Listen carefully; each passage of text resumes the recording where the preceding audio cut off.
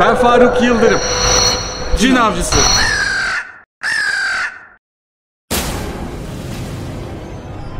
Gerçekten cin var mı?